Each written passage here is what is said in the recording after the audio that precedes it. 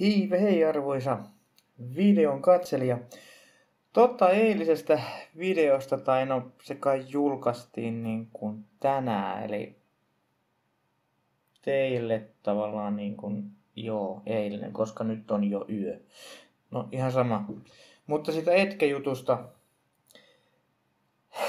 tota, joo, en siis, mä en ole mikään etsen niin kuin, niin kuin peruskäyttäjä tai mä en niin käytä sitä oletuksena missään nimessä, mutta ää, mä käytän Firefoxia ja Bravea ja nyt mä oon oikeastaan Braveista siirtynyt takaisin Firefoxiin, koska mä oon huomannut, että tietyt asiat on paremmin edelleen siellä Firefoxin puolella.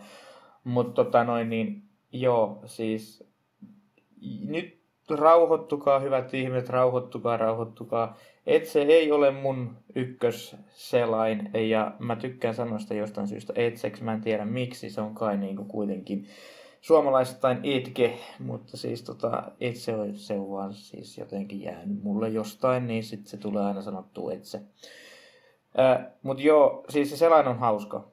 Eihän me nyt siitä, siitä päästä mihinkään, mutta tota, Firefox on edelleen jo se number one ja se on aidosti open source ja näin poispäin. Niin ihan vaan tämmönen lyhyt päivitys siitä, että tota, tosiaankin jo ollaan Firefox-maailmassa ja ei olla mitenkään Microsoftiin rakastuneita ja näin poispäin, mutta ihan näin vaan.